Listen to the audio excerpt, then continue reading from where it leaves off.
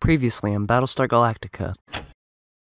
And South Park was quickly approaching its 200th episode, so Trey and Matt decided they'd do something special for it. If you don't know, it's very offensive to show a drawing of Muhammad in Muslim culture. Showing him in any sort of form is very offensive. And then we come to this scene. They put Muhammad inside of a bear costume so that you couldn't technically see him, and they are about to give him over to Tom Cruise. After this episode aired, this one guy, I don't even know how to fucking say his name. I don't think I should say his name.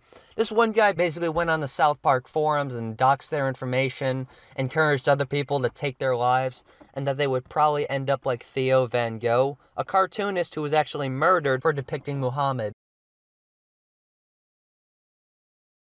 If you saw my last video, I talked about the South Park episodes 200 and 201, and how some Muslim extremists threatened the lives of its creators Trey Parker and Matt Stone for depicting the Prophet Muhammad, leading to the episode being censored and hidden from publicity. If you haven't seen the video, well, I just explained it right now, and again in the opening sequence. After the South Park episode was censored, it caught the attention of an American cartoonist named Molly Norris. She made a post to her Facebook page on April 20th, 2010. The post featured an anthropomorphic teacup, domino, pasta, spool of thread, a purse, and a cherry, each claiming to be the real likeness of Muhammad. The poster read, In light of the recent veiled ha threats aimed at the creators of the television show South Park by bloggers on Revolution Muslim's website, we hereby deem May 20th, 2010 as the first Everybody Draw Muhammad Day. Do your part to both water down the pool of targets and, oh yeah, defend something our country is famous for, but maybe not for long? Comedy Central cooperated with terrorists and pulled the episode The First Amendment, sponsored by the Citizens Against Citizens Against Humor, or CACA. CACA isn't actually a real thing. It was a joke organization added on to satirize capitalism. Essentially, what the poster is saying is that if so many people draw Muhammad out of protest, the extremists would not be able to target every single person who drew them. And it showed that the United States wouldn't be intimidated by terrorists. Some people have criticized the event, saying that it's offensive to Muslims, not just Muslim terrorists, and that's just kind of teasing. If you ask me personally, I'm going to participate in it since I'm an avid supporter of freedom of speech, freedom of expression. I understand the risks, and I agree with the message. I know it might offend some Muslims, but all art can offend somebody in some way, and truthfully, I kind of don't care how people I don't know feel about it. There was actually a quote in a South Park episode that aired back in 2007 that I think applies well here. If anything, we should all make cartoons of Muhammad and show the terrorists and the extremists that we are all united in the belief that every person has a right to say what they want. For the past few decades, we haven't had to risk anything to defend it. But those times are going to come, and one of those times is right now. And if we aren't willing to risk what we have, then we just believe in free speech, but we don't defend it. So the date was set. May 20th, everyone would draw Muhammad to protest censorship and to protect the First Amendment in the United States. Basically, overnight, the Facebook post exploded in popularity, being reported on by numerous news outlets such as the Washington Post and Vox. It was circulated between bloggers of Seattle, and even Dan Savage, a very popular author, journalist, and activist for progressive politics, reposted it to his blog on April 22nd. He was also on many podcasts and interviews, including KIRO FM, which is a popular Seattle radio station which specializes in talk radio. Uh, this cartoonist, Molly Norris, is piling on with uh, something called Everybody Draw Mohammed Day. Really, Molly? You sure you want to do this? Yeah, I want to water down the targets. The event was spreading like wildfire. Some people would say it was getting out of control. People like Molly Norris. Molly Norris realized that this may be considered an attack on religion as a whole and offend people who have nothing to do with the intimidation, so she reiterated on a podcast that her motivation for the protest was not simply to defend the South Park creators, but it was to support the right to free speech, and nothing else. But nonetheless, tension grew, and on April 25th, just five days after the event was announced, Molly stated on her website, I did not intend for my cartoon to go viral. I did not intend to be the focus of any group. I practice the First Amendment by drawing what I wish. This particular cartoon of a poster seems to have struck a gigantic nerve, something I was totally unprepared for. I am going back to the drawing table now. She doubled down the next day, officially absolving herself from the event. stating, I am not involved in Everybody Draw Muhammad Day. I made a cartoon that went viral and I am not going with it. Many other folks have used my cartoon to start websites, etc. Please follow them as I am a private person who draws stuff. She also approached Savage and asked him to replace the original cartoon that he'd reposted to his website with a less incendiary variant, to which he refused. When he asked why she publicized it initially, she responded meekly saying, Because I am an idiot. And on the same day, the creator of the official Facebook page, Dave Wellington, dropped out, saying, I am aghast that so many people are posting deeply offensive pictures of the Prophet. Y'all go ahead if that's your bag, but count me out.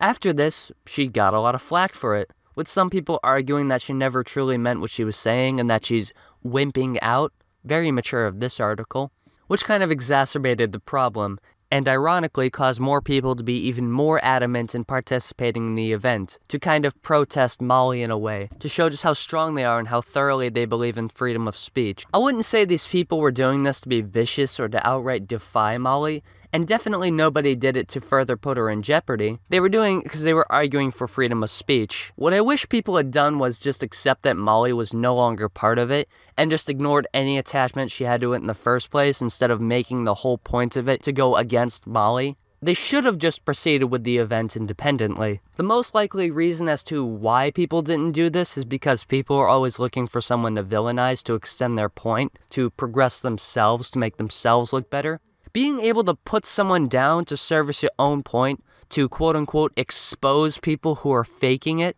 to show that I'm a real person who believes this, and this is a fake person that believes in this, is something I see many people praise. The concept of taking down the corporate pig and standing victorious above them is something we find virtuous in our society. Oh, I don't know. Is it that we collectively thought Steve Jobs was a great man, even when we knew he made billions off the backs of children? Or maybe it's that it feels like all our heroes are counterfeit.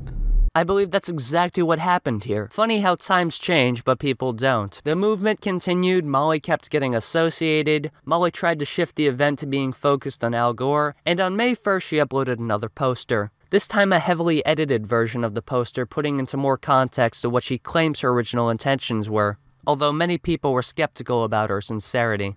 Meanwhile, an IT specialist in Toronto, Canada, known as Mimi, tried to take the wheel of the event, and to allow themselves to be publicly responsible for it, not Molly. It was something they wanted to fight for, while at the same time exculpating Molly from being at risk. The event was now officially back on, but with a caveat.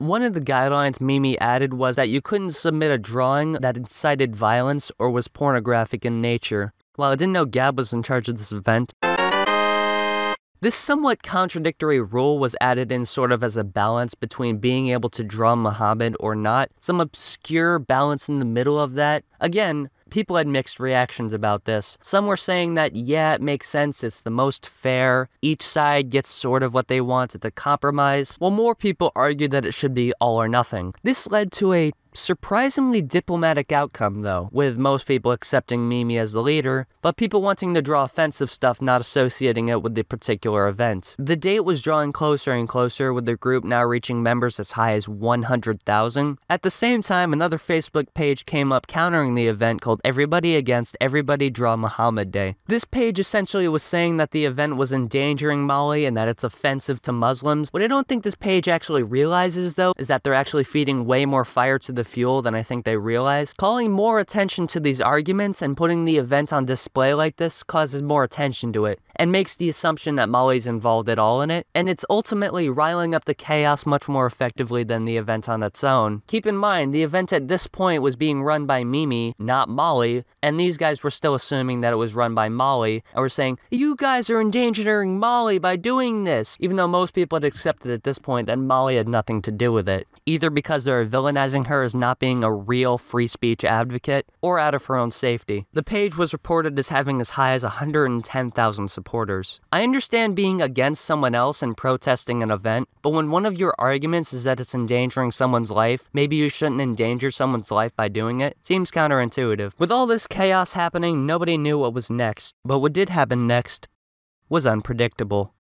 On May 19, 2010, just a day before the event occurred, the Pakistan equivalent of the Supreme Court, the Lahore Court, blocked Facebook indefinitely in response to the event. They figure the best and most reasonable course of action is to restrict the information its citizens can consume, and won't allow the citizens to make their own opinions on it. Molly Norris and the event should not be blamed at all for this. This is completely out of the idiocy of the Pakistan government, but it's tragic to think that a protest wanting to open conversation led to an entire country getting a website many of them had integrated into their lives, just outright blocked. And you might be thinking they could just use a VPN to get around it, but you gotta remember, this is 2010 Pakistan. If you ask somebody in 2010 what a VPN is, they'd tell you it's very pointless nerd shit. And I'm not the only one who thought that this was unfair. CEO of the Pakistan company Nayatel, Wahaj us Siraj, said blocking the entire website would anger users, especially young adults, because the social networking website is so popular among them, and they spend most of their time on it. Basically, our judges aren't technically sound. They have just ordered it, and it should have been done in a better way by just blocking a particular URL or link. And yeah, that's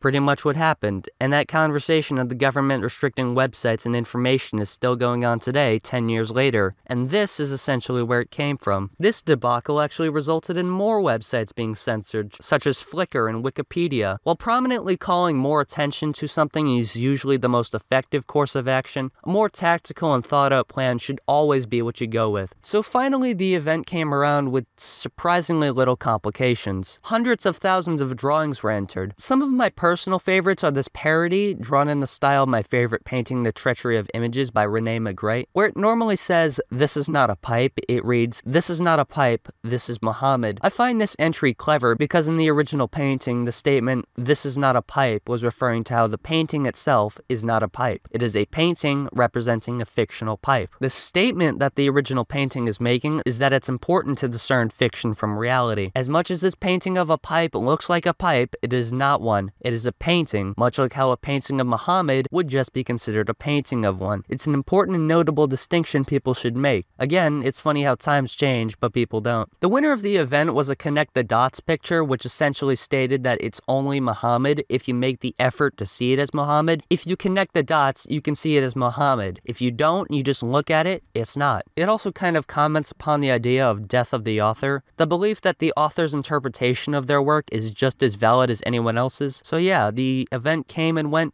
peacefully. Molly Norris can live her life worry free now, right?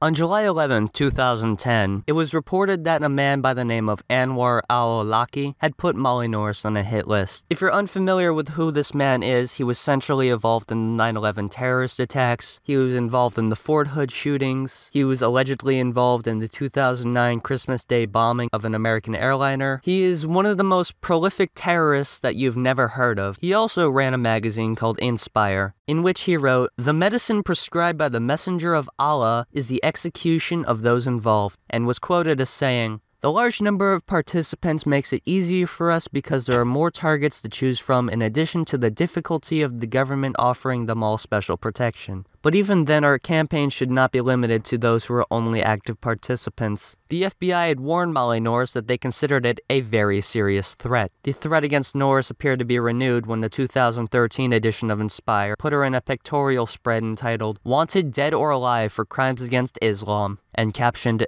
Yes, we can. A bullet a day keeps the infidel away. Molly Norris has since changed her name and gone into hiding. Since then, she's still in hiding and threats against her life continue to this day. And that's the story of Molly Norris, a woman associated with an event she wanted nothing to do with, purely because people wanted it to suffice their own agenda. Now, I'm not saying that freedom of speech isn't something you shouldn't stand up for. What I'm saying is, you shouldn't make it a point to say, I'm going against you. You're not a real free speech advocate, and I am, and this is why especially with something as fucking critical as this. Just argue the points someone is making, don't argue with the person. Thank you so much for listening. I really had a lot of fun researching and making this video. It was a really interesting topic to me. I really hope you enjoyed it, and